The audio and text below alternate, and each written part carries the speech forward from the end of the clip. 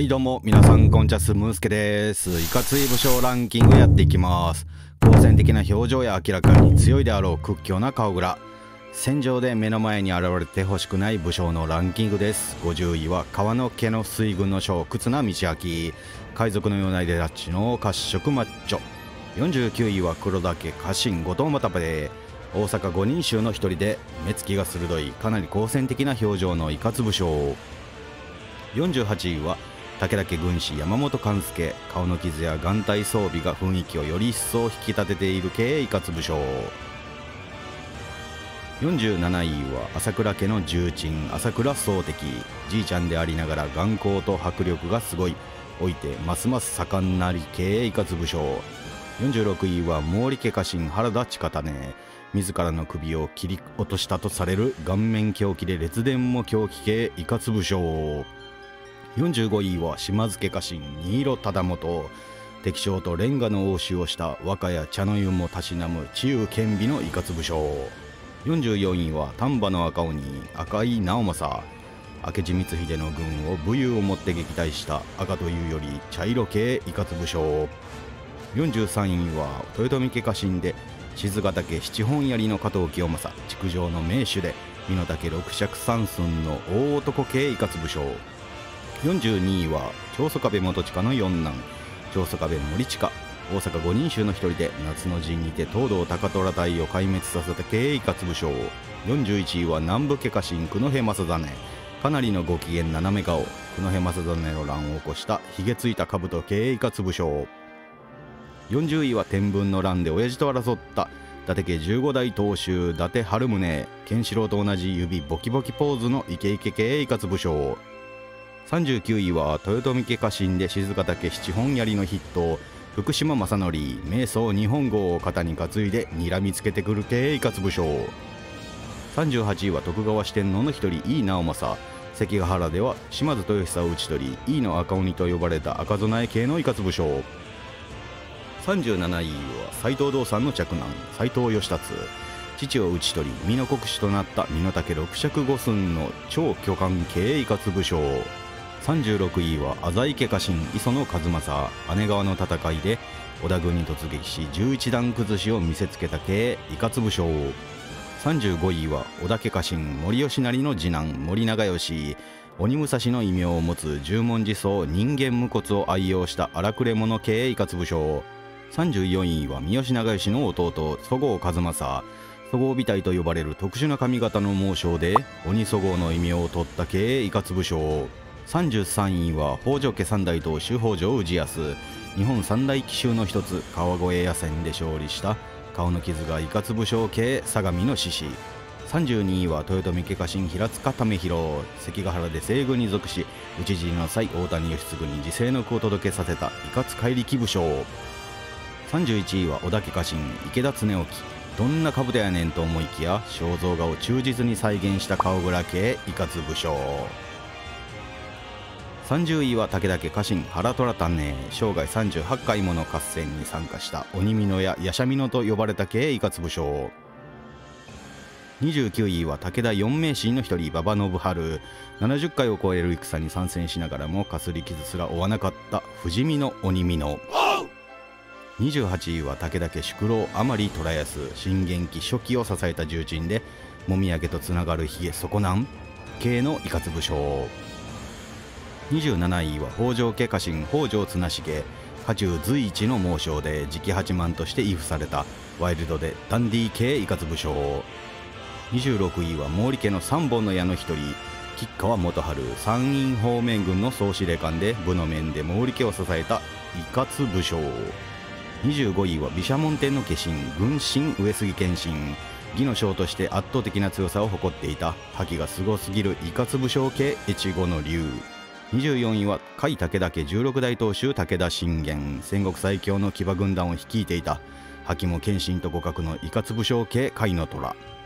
23位は大友家の風神高橋常雲島津軍相手に岩屋城を枕に玉砕した。後に秀吉に乱世の花と言わしめて経営いかつ武将。22位は上杉家家臣本庄重長。上杉景勝から武人始まんの称号を与えられた猛者だが実は謀反もしちゃっていた経営いかつ武将。21位は本願寺傍観島妻来園魔王信長に対し徹底抗戦した鈴木重秀とともに大阪左右の大将と呼ばれた系伊勝武将。20位は伊賀の抜け人で盗賊団の頭目石川五右衛門。京都三条河原にて川湾ゆでにされたマッチョな歌舞伎者系伊勝武将。19位は大阪の陣に豊臣方で参戦した万段右衛門。棍棒を振りかぶってる顔蔵自身の名前を旗印にした系伊勝武将。18位は信濃の戦国大名村上義清二度武田信玄の侵攻を防ぎ甘利虎安などの有力武将を討ち取った系伊勝武将17位は龍造寺家19代当主龍造寺隆信肥前の熊の意味を持つ6人担ぎの籠に乗っていた系肥満隊伊勝武将。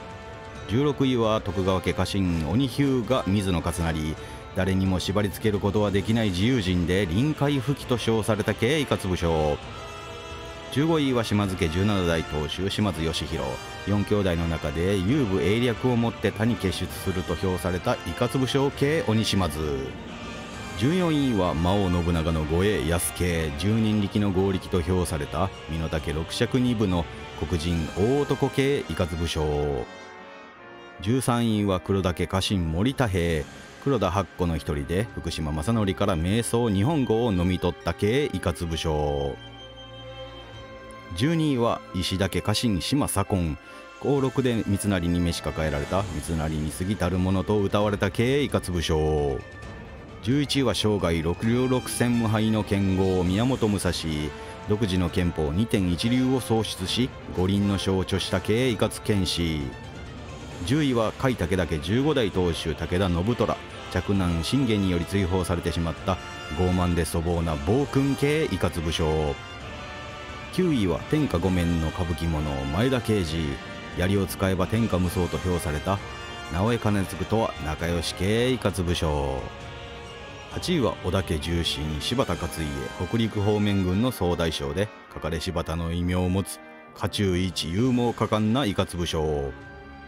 7位は徳川四天王の一人本田忠勝瞑想トンボ切りを手に57度の合戦で無傷を誇った家康に過ぎたる者系の伊勝武将。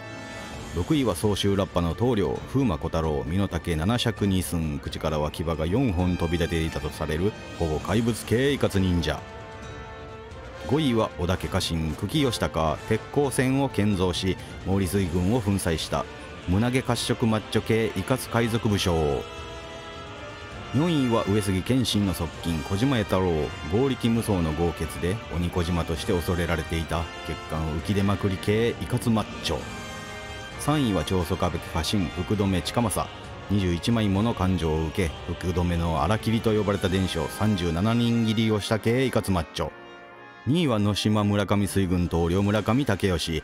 日本最大の海賊として瀬戸内海を制した。威厳たっぷり系イカツマッチョ海賊。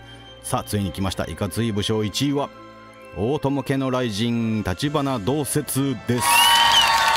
落雷に打たれ歩行不能になりながらも腰に乗り名刀雷切りを手に先陣を切ったとされる鎮西一の猛将。数々のマッチョを抑えての堂々のいかつさ最強であり最強なのではないでしょうか。ここで今回も番外編の紹介です。番外編1人目は毛利輝元の長男で毛利家15代当主毛利秀成。素行が悪くて態度が威圧的なボンボン。主食に溺れていたためおそらく体はブヨブヨの顔だけいかつ武将2人目は朝倉家家臣真柄直隆太郎立ちを振るう身の丈七尺の巨漢武将。昔から顔蔵に変化なしなのでランク外。次回作ではいかつい顔ぐらい用意してあげてください。いかがでしたでしょうか？少しだけ勉強になるいかつい顔グラ武将ランキング。今回のランキングは能力値が高い武将や有名な武将のランクインが多かったですね。特に武田家の武将が多く登場していたのが印象的でした。ご視聴ありがとうございました。次回のランキング動画はイケてる鎧兜ランキングを予定しております。そちらの動画もよろしくお願いします。よろしければチャンネル登録高評価もお願いします。ではまた別の動画でお会いしましょう。ムンスケでした。ありやすー。